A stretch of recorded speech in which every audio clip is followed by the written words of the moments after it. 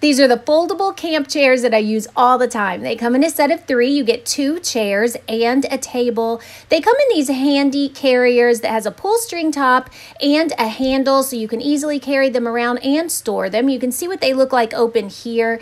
The chairs have drink holders on the arms. Uh, the table also has drink holders on it as well. The base is very sturdy and easily foldable. I folded these with one hand, so you can see how easy they are to fold up, and they are a great product and a great price. Highly recommend.